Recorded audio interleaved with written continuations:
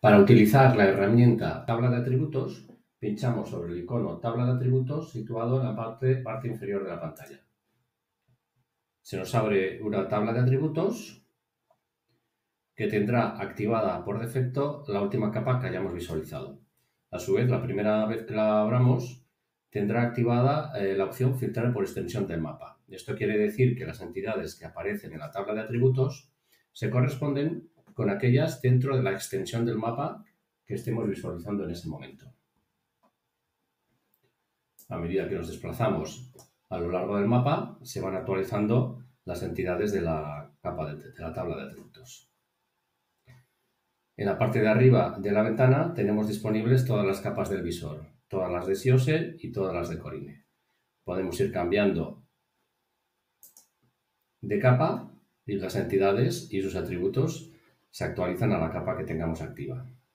Aquí hay que tener en cuenta que la capa que, es, que la capa que estamos visualizando en la pantalla se corresponde con aquella que está activa en el panel de capas. Por lo tanto, a medida que cambiemos de capa activa en la tabla de atributos, tendremos que activarla también en el panel de capas si la queremos visualizar.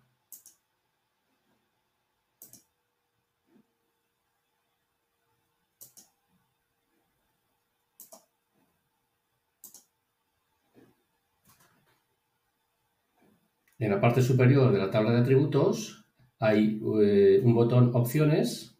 Si pinchamos en él, se nos ofrece la herramienta filtro. Esta herramienta, que tiene un funcionamiento similar a la herramienta de consultas ya explicada en otro vídeo, nos permite eh, realizar filtros a través de consultas temáticas sobre la tabla de atributos que tengamos activa. En este caso, vamos a filtrar eh, aquellas entidades correspondientes a bosques de coníferas en el campo Codige. Le damos a agregar una fila, seleccionamos el campo Codige, el operador ES nos va bien y seleccionamos el valor bosque de coníferas y aceptar. Se nos actualizan las entidades en la tabla de atributos, en este caso hay 100 entidades, 102 entidades de bosque de coníferas dentro de la extensión del mapa. Igualmente, si vamos moviendo nuestro a lo largo del mapa o haciendo zoom, se nos van actualizando las entidades con este filtro. Es posible que queramos realizar eh, o visualizar la tabla de atributos completa de toda la capa. Para ello, en primer lugar, lo mejor es que eliminemos el filtro que hayamos realizado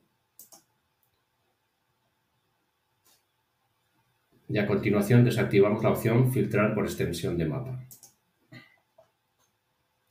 Hay que tener en cuenta que SIOSE se compone de un elevado número de entidades, por lo tanto este tipo de operaciones puede tardar bastante. Una vez que tenemos la tabla de atributos completa, también podemos aplicar un filtro. Volvemos a opciones, filtro, y en este caso vamos a seleccionar aquellos bosques de conífera que tengan eh, una superficie mayor de 10.000 hectáreas. Como son dos las condiciones que queremos que cumpla, podemos pinchar en Agregados filas. En la primera, igual que antes, elegimos Codige, bosque de coníferas y en la segunda seleccionamos el campo Superficie, el operador es mayor que y escribimos 10.000. Pinchamos en Aceptar eh, nuevamente, en función de la compleja que sea el filtro que estamos aplicando, pues tardará más o menos. Y tenemos un total de siete entidades dentro de la capa SIOSE 2014 correspondientes a bosques de coníferas con una superficie mayor de 10.000 hectáreas. Seleccionando cualquiera de ellas y pinchando en el botón Acercar a, se nos hace un zoom sobre la entidad.